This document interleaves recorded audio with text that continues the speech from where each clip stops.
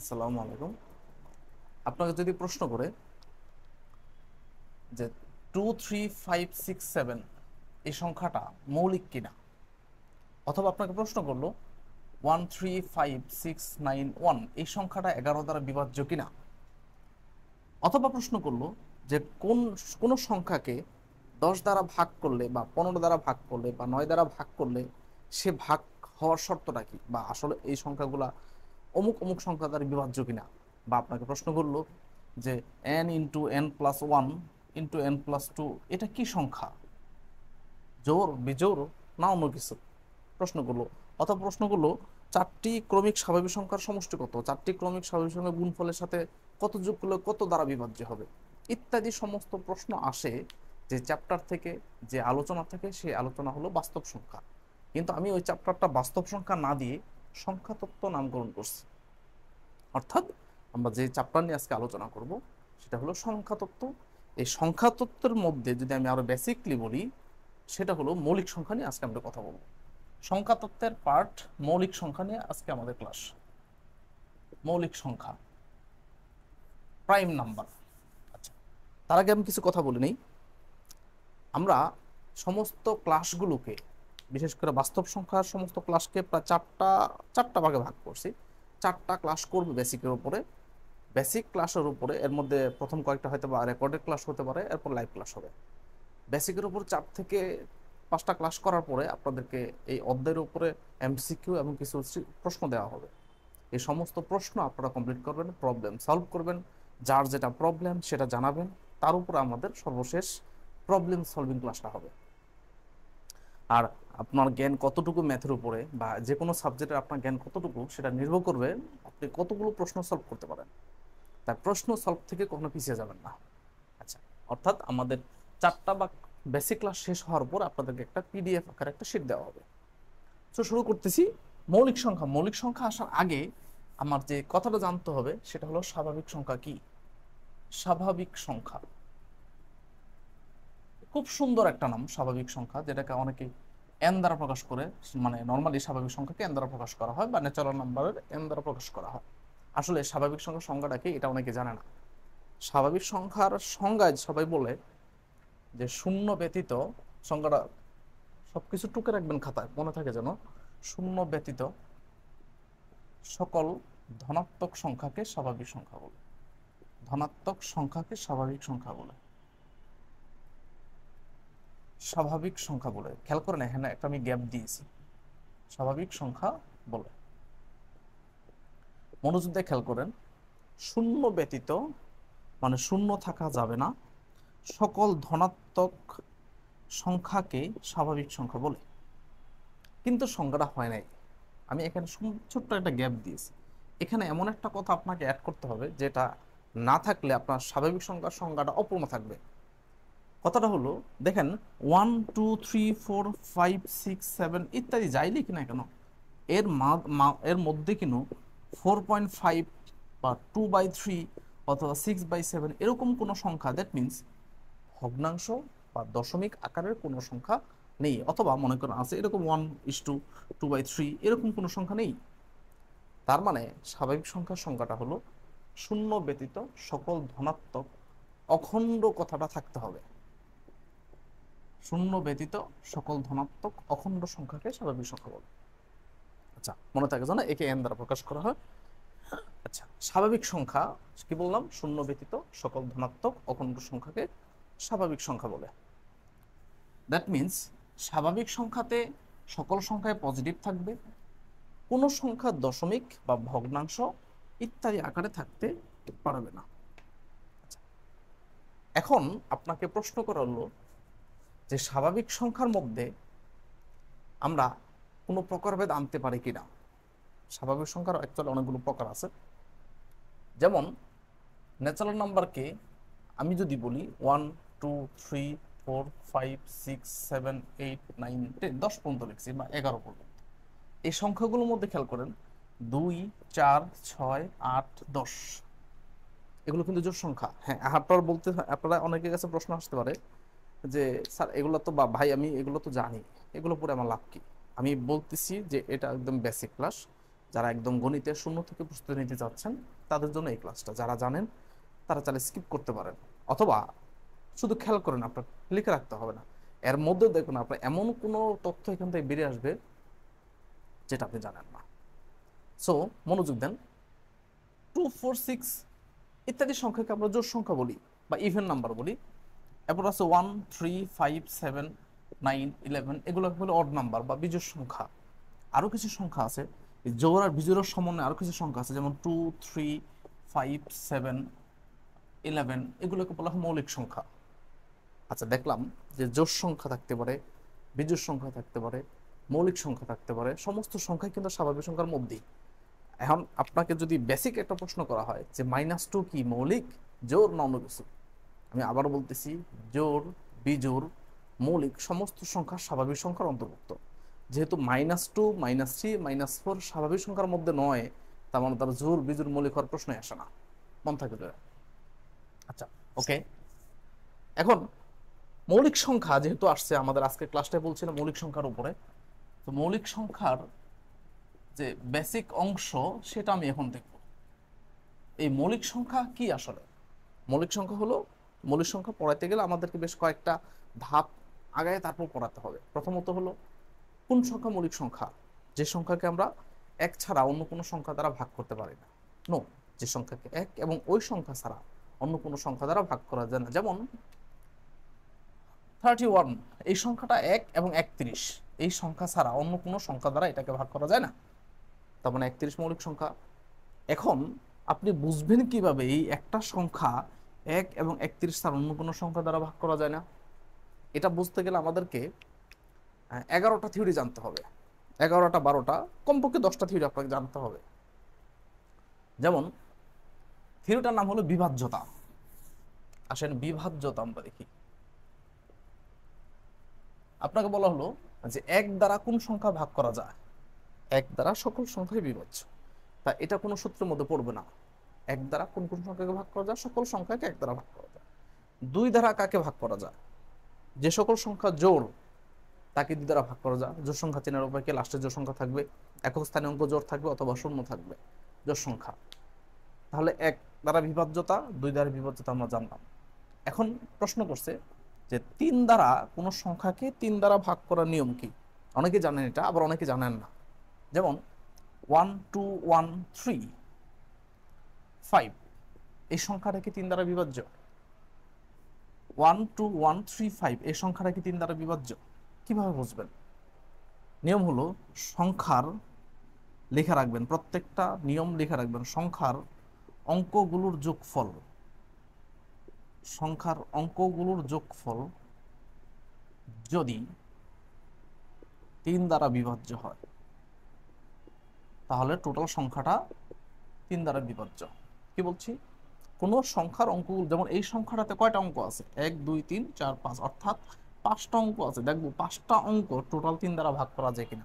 পাঁচটা অঙ্কের যোগফল তিন আর পাঁচ যোগ করলে হয় আট আট আর একে নয় নয় আর তিনে হয় বারো।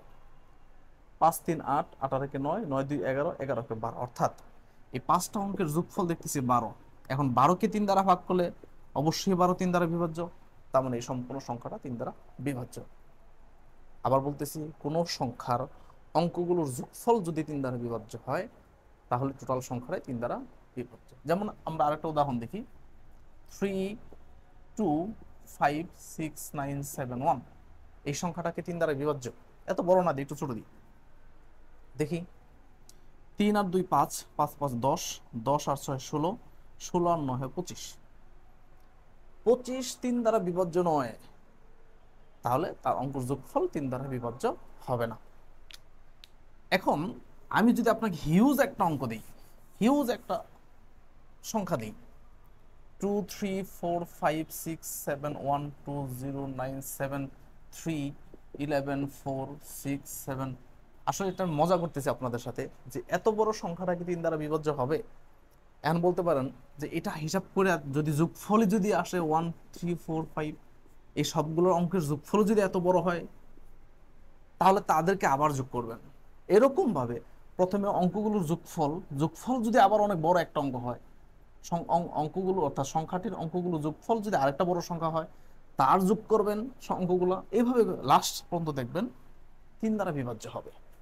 যদি হয়, তাহলে টোটাল সংখ্যাটা তিন দ্বারা বিভাজ্য। আচ্ছা যাই হোক, আমরা তিনের সূত্র ক্লোজ করি। আসে এখন চার দ্বারা বিভাজ্য হওয়ার নিয়ম কি?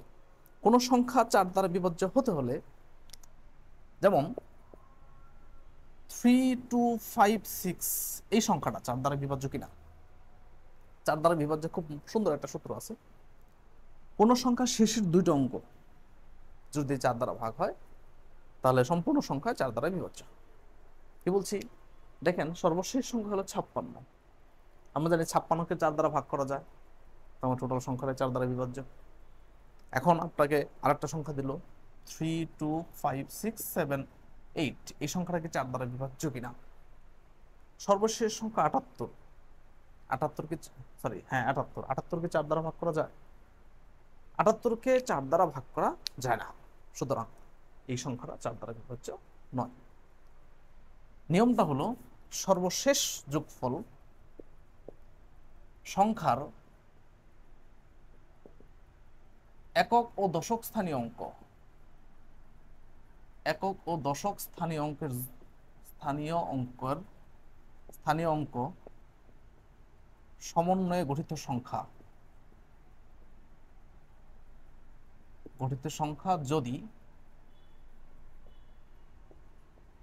চার দ্বারা বিভাজ্য হয়, তবে সম্পূর্ণ সংখ্যা চার দ্বারা বিভাজ্য। আমি এখানে এলাবোরেট করছি একটু, অতিরিক্ত লেখার চেষ্টা করছি।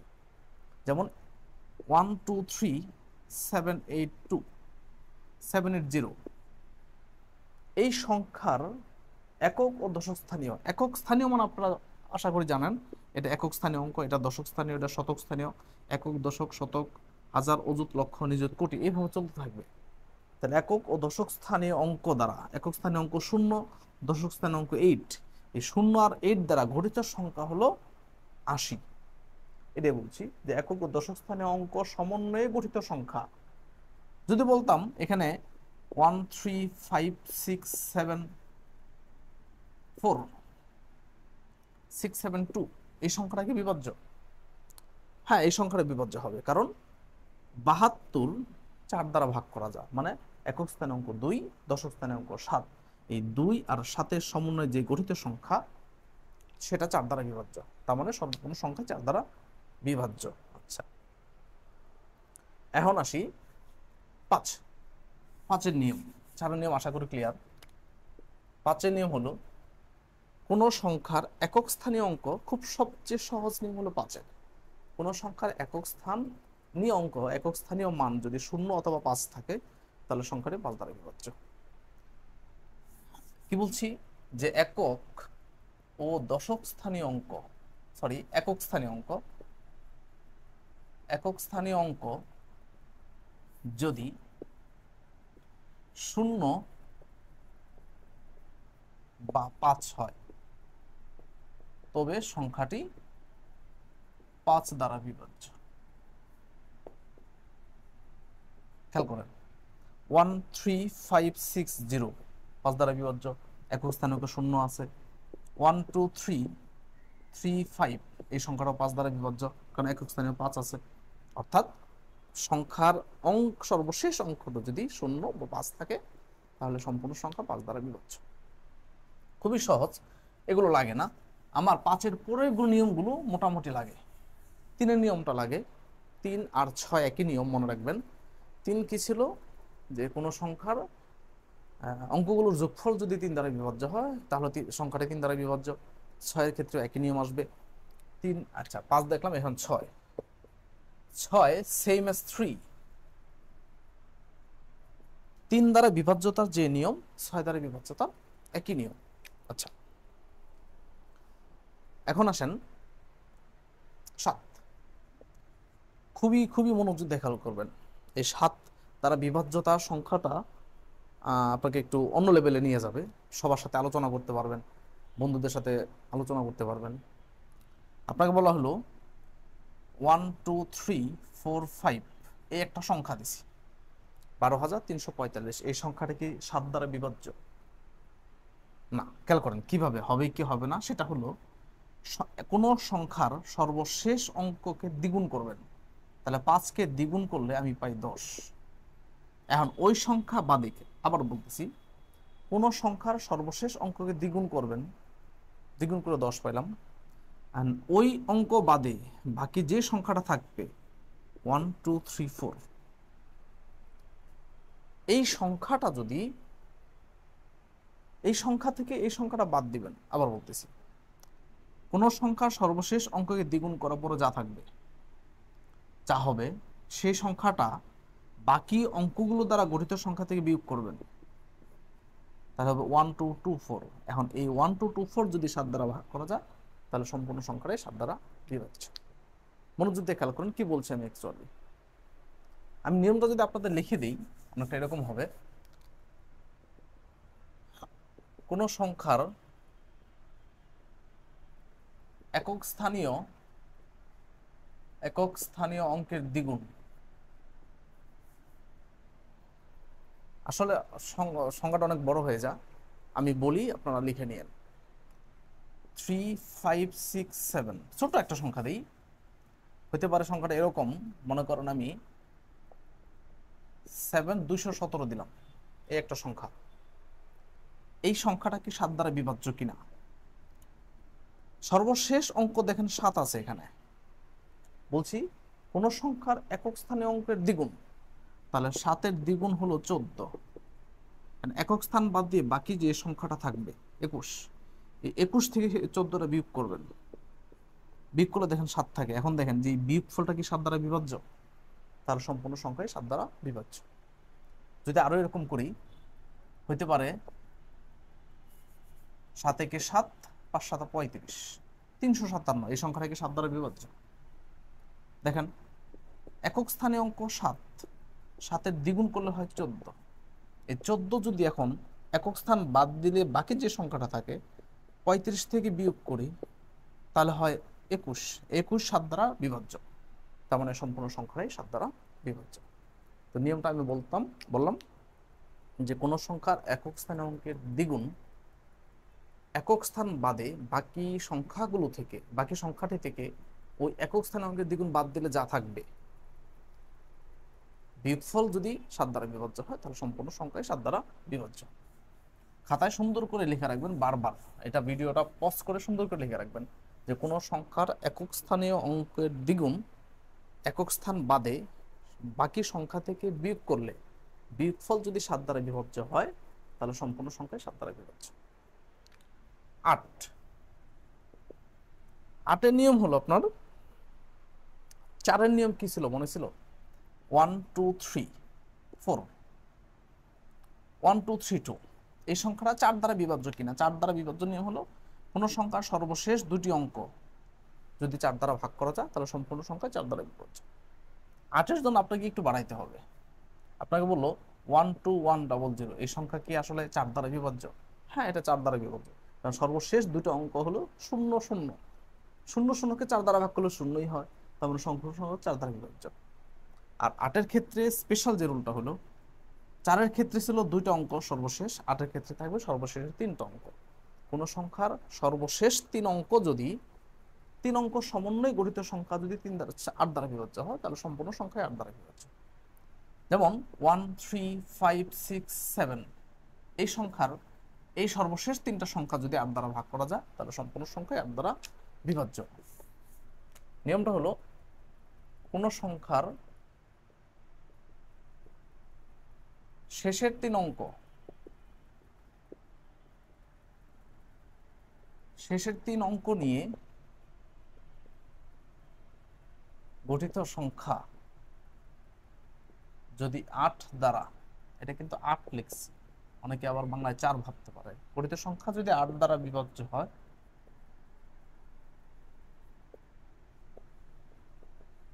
তবে সম্পূর্ণ সংখ্যা আট দ্বারা বিভাজ্য হবে। এগুলো আট দ্বারা ভাগ করা নিয়ম। আমি আসলে একটু হয়তো বা ভিডিওটা দীর্ঘায়িত করতেছি, আপনার কাছে মনে হতে পারে, কিন্তু আসলে দীর্ঘায়িত না কারণ আমাদের এটা বেসিক ক্লাস শুরু হয়েছে।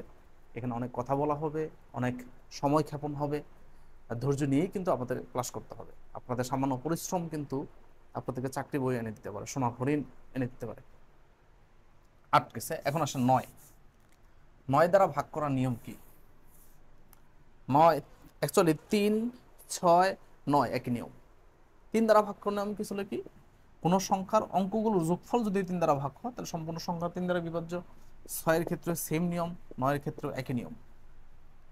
কোনো সংখ্যা যদি, কোনো সংখ্যার অঙ্কগুলোর যোগফল যদি নয় দ্বারা ভাগ করা যায়, তাহলে সম্পূর্ণ সংখ্যায় নয় দ্বারা বিভাজ্য। কোনো সংখ্যার অঙ্কগুলোর যোগফল যদি তিন দ্বারা ভাগ করা যায়, তাহলে তিন দ্বারা বিভাজ্য হবে। অঙ্কগুলো যোগফল যদি ছয় দ্বারা ভাগ করা যায় তাহলে সম্পূর্ণ সংখ্যা ছয় দ্বারা বিভাজ্য হবে। তিন, ছয়, নয় এক নিয়ম। এরপর আসবে এখন দশ। দশের নিয়মটা খুবই সহজ। কোনো সংখ্যার সর্বশেষ অঙ্ক যদি শূন্য হয়, তাহলে সংখ্যাটি দশ দ্বারা বিভাজ্য একটাই নিয়ম, কোনো সংখ্যার সর্বশেষ অঙ্ক যদি শূন্য হয়, তাহলে সংখ্যাটি দশ দ্বারা বিভাজ্য এগারো। সবচেয়ে, আমার জানা মতে সবচেয়ে কঠিন নিয়ম হলো এগারো। এগারো দ্বারা কোনো সংখ্যা বিভাজ্য হবে কি না সেটা কীভাবে বুঝবেন? আপনাকে একটা সংখ্যা দিলাম। One three seven eight nine two one four অনেক বড় একটা সংখ্যা দিচ্ছে এই সংখ্যাগুলো কি আসলে এক দ্বারা, এগারো দ্বারা বিভাজ্য সংখ্যাটি? নিয়ম হলো, কোন সংখ্যার কোন সংখ্যার বিজুর স্থানীয় অঙ্কের যোগফল বিজুর স্থানীয় অঙ্কে, অঙ্কের যোগফল। ও জোর স্থানীয় অঙ্কের যোগফলের বিয়োগফল। অঙ্কের যোগফলের বিয়োগফল।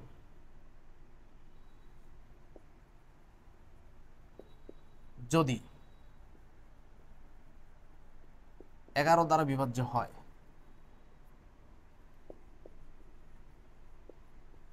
হয়। তবে সম্পূর্ণ সংখ্যা এগারো দ্বারা বিভাজ্য একটু কঠিন মনে হলেও খেয়াল করেন। কোন সংখ্যার বিজোড় স্থানীয় অঙ্কের যোগফল, দেখেন এখানে বিজোড় স্থানীয় কি কি আছে? বিজোড় স্থানীয় আছে এক, সাত, নয়, এক, তিন, পাঁচ, সাত। অর্থাৎ বিজোড় স্থানীয় অঙ্কে দেখুন, এক নাম্বারটা, তিন নাম্বারটা, পাঁচ নাম্বারটা, সাত নাম্বারটা। তাহলে বিজোড় স্থানীয় অঙ্কগুলো যোগ করি।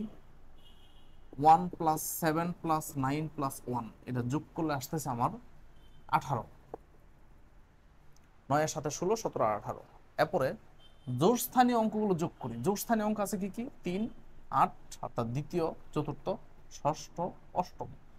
তিন, আট, তিন, চার। তিন যোগ আট যোগ তিন যোগ চার। এটা যোগ করলে আমরা পাচ্ছি তিন আর আটে এগারো, বারো তেরো চোদ্দ চোদ্দ চার আঠারো। এই আঠারো, অর্থাৎ বীজস্থানীয় অঙ্কের যোগফল ও জোরস্থানীয় অঙ্কের যোগফল, যোগফলের বিয়োগফল এই দুইটার যোগফলের বিয়োগফল করলাম দেখেন শূন্য। শূন্য এগারো দ্বারা ভাগ করা যায়, তার মানে এই সম্পূর্ণ সংখ্যা এগারো দ্বারা বিভাজ্য মনে থাকে যেন নিয়মটা, কোন সংখ্যার বীজস্থানীয় অঙ্কের যোগফল ও জোরস্থানীয় অঙ্কের যোগফলের পার্থক্য বা বিয়োগফল যদি এগারো দ্বারা ভাগ করা যায় তবে সম্পূর্ণ সংখ্যা এগারো দ্বারা বিভাজ্য। আশা করি এটুকু অন্তত পক্ষে খেয়াল করতে পারছেন। এখন আসেন, বিভাজ্যতা শেষ, আমরা এগারো পর্যন্ত দেখব, আর দেখব না। বারোর ক্ষেত্রে আবার তিন, ছয়, নয় বারো সেম নিয়ম আসবে। তেরোর ক্ষেত্রে আরও কিছু নিয়ম আসবে। এইসব নিয়ম আসলে দরকার পড়বে না, এগারো পর্যন্ত জানা থাকলে আমাদের হয়ে যায়।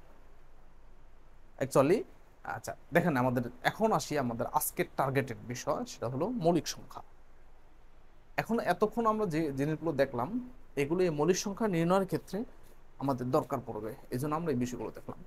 ক্লাসটা আপাতত খুব বেশি বড় করব না, চব্বিশ চব্বিশ মিনিট চলতেছে। খেয়াল করেন, আপনাকে বলল যে দুইশো সাঁত্রিশ এটা কি মৌলিক সংখ্যা? অনেক পরীক্ষায় এই প্রশ্নটা আসে। দুইশো সাঁত্রিশ দুইশো এগারো, এগুলো মৌলিক সংখ্যা কিনা? মৌলিক সংখ্যা চিনতে গেলে আপনাকে কিছু বিষয় মাথা রাখতে হবে। যেমন মৌলিক সংখ্যার শেষে দুই থাকতে পারবে না, মৌলিক সংখ্যার শেষে শূন্য থাকতে পারবে না, পাঁচ বাদে অন্য কোনো মৌলিক সংখ্যা শেষে পাঁচ থাকতে পারবে না। কি বলতেছি? মৌলিক সংখ্যা শেষে জোর থাকতে পারবে না। জোর সংখ্যা। জোর সংখ্যা কি কি আছে? দুই, চার, ছয়, আট দুই, চার, ছয়, আট, এগুলো থাকতে পারবে না। শূন্য থাকতে পারবে না। শূন্য থাকতে পারবে না।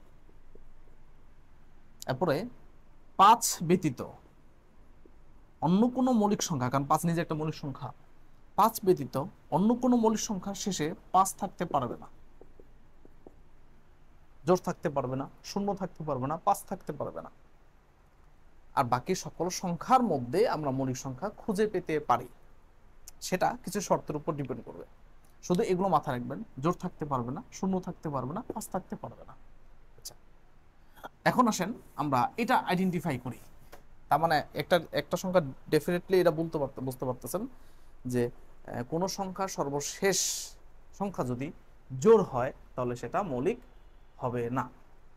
অর্থাৎ মৌলিক হতে গেলে সংখ্যাটা অবশ্যই বিজোড় হতে হবে। প্রথম শর্ত, মৌলিক হতে হলে সংখ্যাটা বিজোড় হতে হবে। যেমন এখানে দুশো সাঁত্রিশ অবশ্যই বিজোড় সংখ্যা। কেন? সর্বশেষে দুই নেই, শূন্য নেই, পাঁচ নেই। বাকি সংখ্যাগুলো আছে, বিদায় এটা, মৌলিক সংখ্যার কাতারে পড়তেও পারে। খেয়াল করেন, মৌলিক সংখ্যা চিনতে গেলে আপনাকে খুব কড়া যে বিষয়গুলো খেয়াল রাখতে হবে। এক নম্বর নিয়ম, আপনাকে এক থেকে বিশ পর্যন্ত, এক থেকে বিশ পর্যন্ত সংখ্যাগুলো বর্গ মুখস্থ রাখবেন। এক থেকে বিশ পর্যন্ত সংখ্যাগুলো বর্গ মুখস্থ রাখার চেষ্টা করবেন। এটা আপনার জন্য অনেক উপকারী, অনেক কাজে লাগবে। একের বর্গ এক উনিশের বর্গ কত? বিশের বর্গ কত? সতেরোর বর্গ কত? পনেরোর বর্গ কত? সবগুলো বর্গ মুখস্থ রাখবেন, মনে থাকে যেন। আচ্ছা যেমন প্রথম নিয়ম হলো দুইশো সাঁত্রিশ অর্থাৎ কোন সংখ্যার বর্গ করলে তার দুশো সাঁত্রিশের কম হবে বা সবচেয়ে কাছে হবে? যেমন পনেরোর বর্গ হলো দুশো পঁচিশ, ষোলোর বর্গ হলো দুশো ছাপ্পান্ন। এরপরে তাহলে দেখলাম যে পনেরো আর ষোলো, এই দুটো সংখ্যার বর্গ দুইশো সাঁত্রিশের সবচেয়ে থেকে কাছে অ্যাকচুয়ালি আমার বড়টার দিকে যাওয়ার দরকারই পড়বে না। তাহলে বড়টা এমনিতেই বাদ হয়ে যাবে।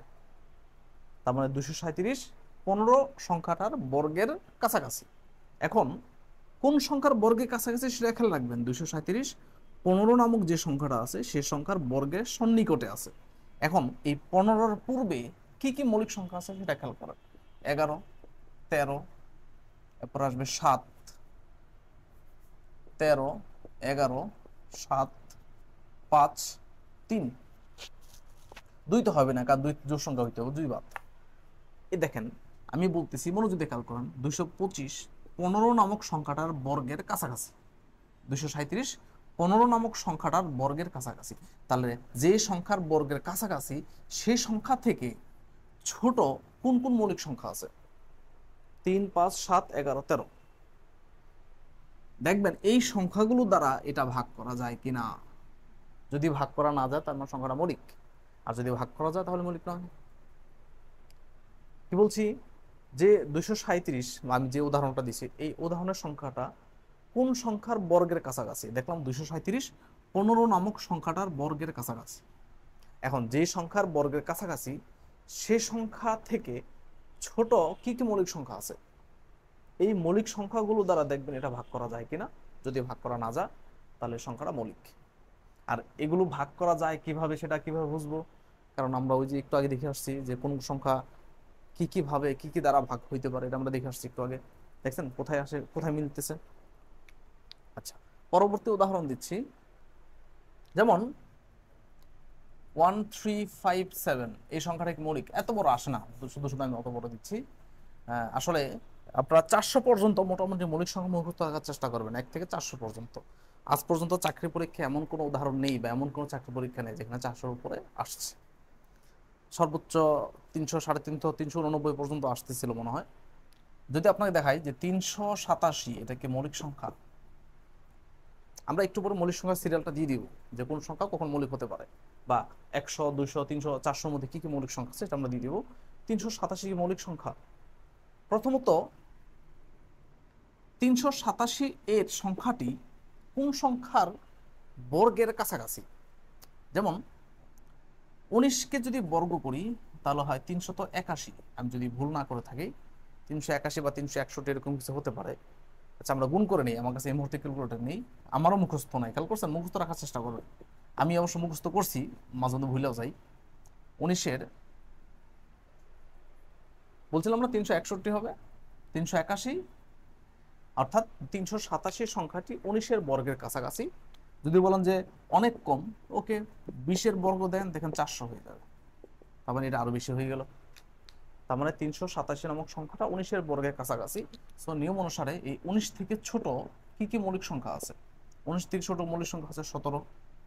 এরপর আছে তেরো, তেরোর পর আছে এগারো, এগারোর পর আছে সাত, পাঁচ, তিন, দুই। এই দুই আর পাঁচ কাউন্টে আসবে না। কারণ দুই আর পাঁচ কখনোই আমরা কাউন্টে নিব না, কারণ দুই জোর সংখ্যা হইতে হবে আর পাঁচ লাস্টে পাঁচ থাকতে হবে। পাঁচ অথবা শূন্য। শূন্য থাকলে তো সেটা আবার জোর সংখ্যা হয়ে যাবে।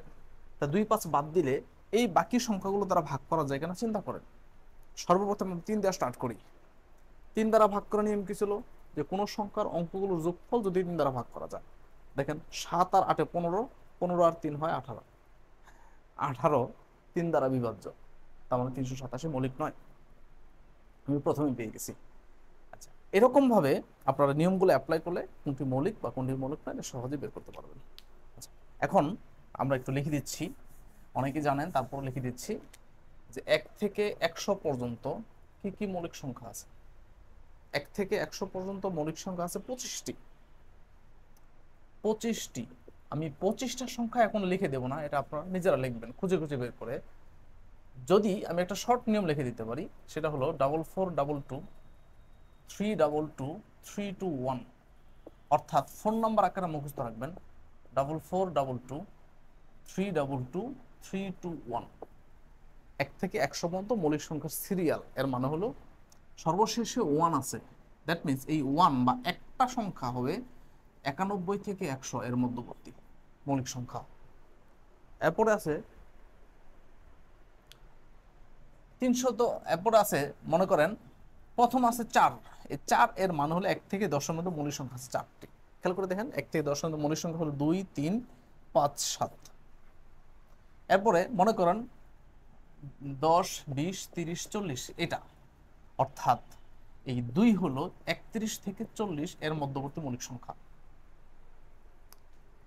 সিরিয়ালটা সুন্দর করে মনে রাখবেন। এটা হলো এক থেকে একশো পর্যন্ত মৌলিক সংখ্যার serial double four double two three double two three two one আমার যে সিক্সে আমার যে আমার আপনার মনে করেন নাইন টেন ইলেভেনে যত স্টুডেন্ট আছে, প্রত্যেকটা আমি এটা মুখস্থ করে রাখছি।